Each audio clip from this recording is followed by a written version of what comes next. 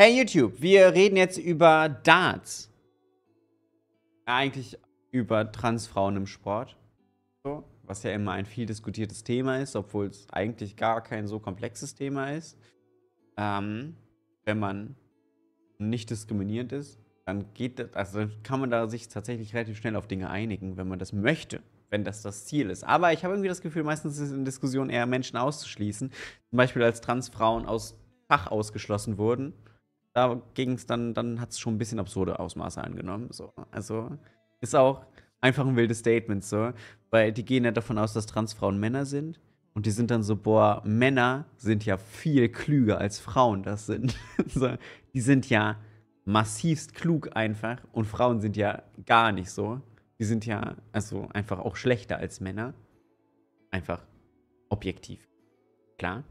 Und deswegen muss man sie aus Schach aus, aus schließen.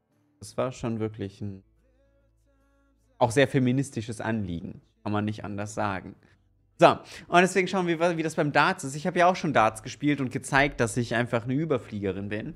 Ich meine, wir haben es geschafft, ins Halbfinale zu kommen. Natürlich nur wegen mir, nicht wegen Mauki, weil Mauki gerade im Halbfinale auch echt gut gespielt hat. Nein, nein, nein, weil ich äh, trans bin. Deswegen sind wir so weit gekommen. Auch nicht, weil ich gut gespielt habe, sondern einfach nur, das war der Fakt.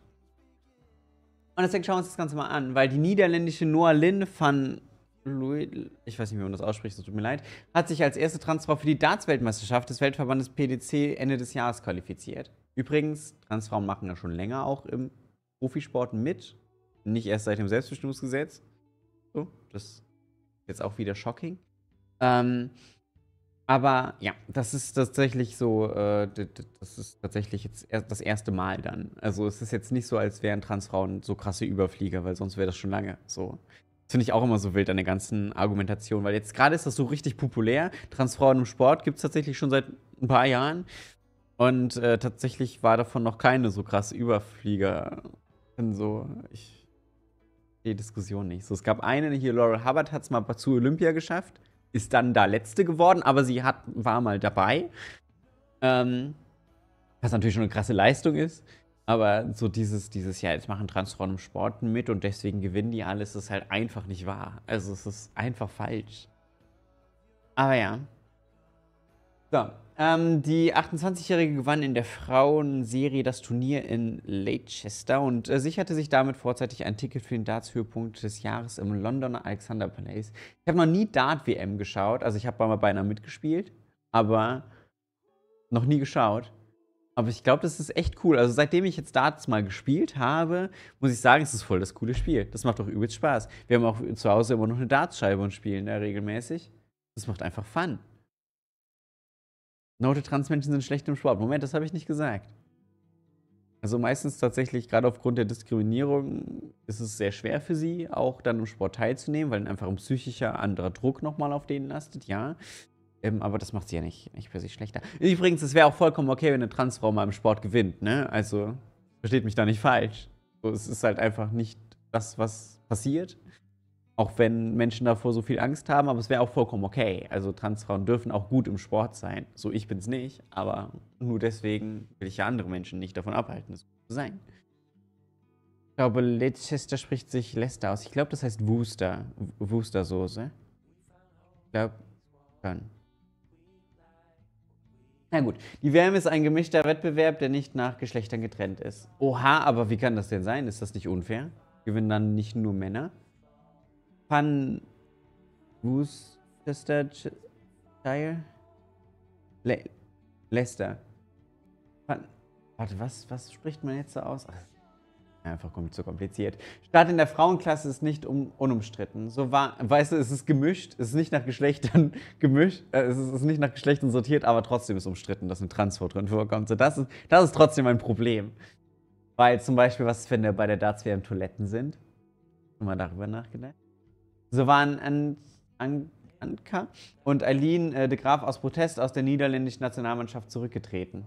Ach cool, das ist ja super chillig. Im Mai weigert sich die englische Dartspielerin Dita Hetman bei einem Turnier in Dänemark gegen die Niederländerin anzutreten. Offenbar wegen ihrer Transidentität. Also Transfeindlichkeit. Also ich würde gerne jetzt noch die Begründung lesen, aber da gibt es meines Erachtens nach jetzt keine gute Begründung für. Äh, Norlin van, ah, von Löwen wird Esther, nee, das ist ausgesprochen. Ich glaube, ich bin hier gerade im falschen Tag. Hatte ihre Premiere im Profi-Darts im Herbst 2022 gefeiert. Sie selbst äußerte sich in Darts News zum Hass gegen ihre Person. Das ist ätzend, aber ich versuche mir das nicht mehr sehr zu Herzen zu nehmen. Aber das ist halt, das ist halt so kacke, dass gerade Transpersonen, die irgendwie in der Öffentlichkeit stehen, aber auch gerade im Sport aktiv sind, sich immer sowas, immer sowas ausgesetzt sind. Das ist halt so eine hohe psychische Belastung, die, glaube ich, auch immer wieder unterschätzt wird. So, ähm, die halt eben Transmenschen ausgesetzt sind und dadurch das eben auch erschwert wird, gerade halt im Profisport mitzumischen.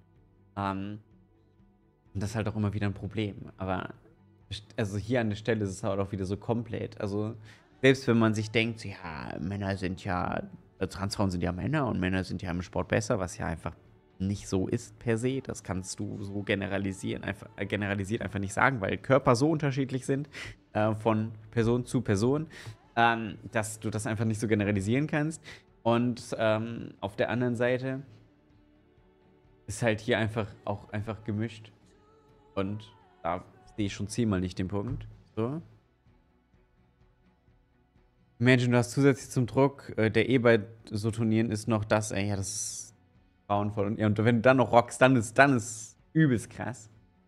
Weiter erklärte sie, ich denke, das Einzige, was ich zu diesem Thema bedauere, ist, dass viele Leute vergessen, dass ich auch ein Mensch bin. Ja, das ist, das ist sehr, sehr oft der Fall. Also gerade wenn es dann übers Internet geht oder so, dass Menschen auch so die ekligsten Sachen schreiben. Ich habe auch schon die ekligsten Sachen über mich gelesen, ähm, die wirklich, wirklich widerlich sind. Und ich denke mir jedes Mal, da sitzen Menschen dahinter. So, und die macht, teilweise machen die das ja als Witz und als Spiel und merken nicht, dass da Menschen mit Gefühlen hinter sitzen. Also auch Transmenschen haben Gefühle. Ähm, ich weiß, dass es traurig ist, dass ich das gerade sagen muss, aber es ist im Endeffekt Menschen. So. Und die lesen das und bekommen das mit. Also, das geht nicht komplett an, niemandem, an einem immer vorbei. Gerade wenn dann Menschen auch noch raustreten aus Grund von Transfeindlichkeit und sagen, nee, mit, mit der spiele ich hier nicht. Ist halt einfach, halt auch auf Dauer einfach schmerzhaft. Äh, laut den Regularien des niederländischen Dartsverbandes sind Transfrauen berechtigt, in der Frauenklasse zu starten, wenn sie gemäß ärztlicher Bescheinigung die Transition seit mindestens einem Jahr abgeschlossen haben. Also es gibt auch noch tatsächlich Vorkehrungen und Regularien, was das angeht. Aber das interessiert ja auch wieder nicht, sondern das ist. Aber ich verstehe auch nicht, was da jetzt, also was ist da der Punkt?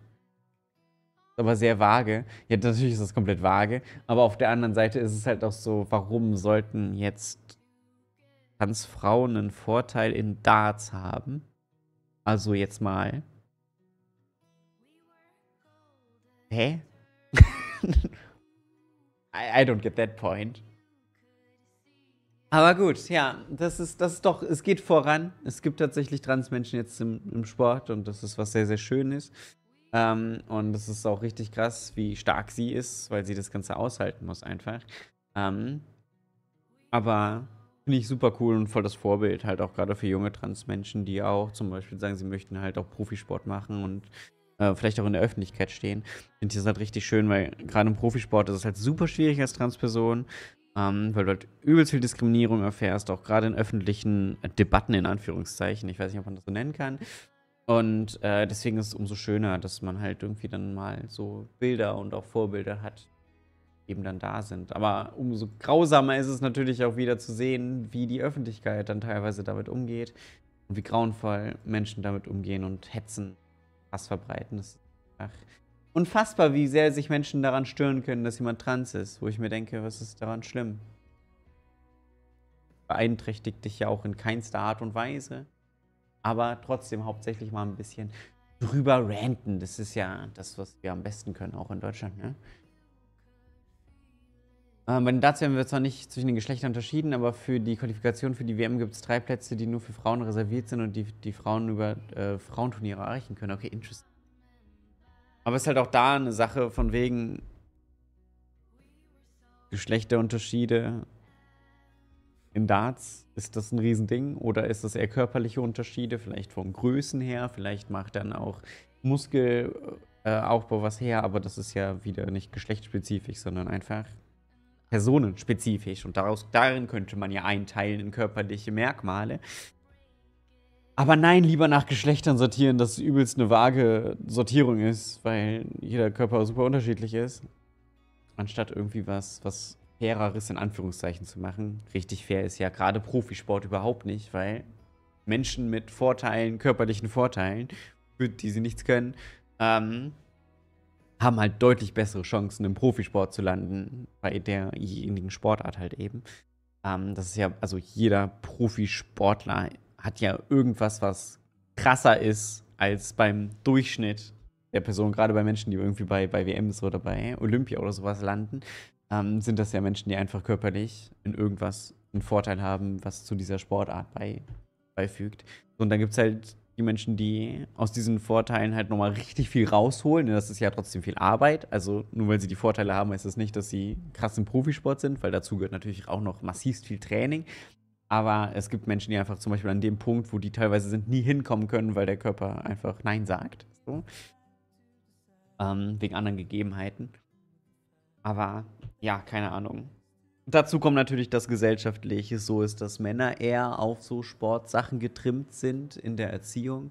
Also Gerade auch sowas wie Darts ist ja etwas, was auch vorrangig von, von Männern gespielt wird, weil es eben gesellschaftlich eher daran geknüpft ist. Das heißt nicht, dass nur Männer Darts spielen, das habe ich nicht gesagt, nochmal hier zur Differenzierung, sondern dass das halt eher ins Bild gehört und ins Bild passt, weil Frauen sollen ja brav zu Hause sitzen und ne, alles machen so im Haushalt und Männer sind ja dann die, diese starken, also das in Anführungszeichen starke Geschlecht, was ja gesagt wird.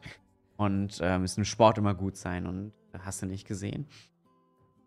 Und das spielt natürlich auch damit rein. Also einmal die Sozialisierung, ob jemand besser im Sport ist oder nicht, weil manche halt viel früher damit anfangen. Also im Durchschnitt fangen halt dadurch dann Männer früher mit sowas an.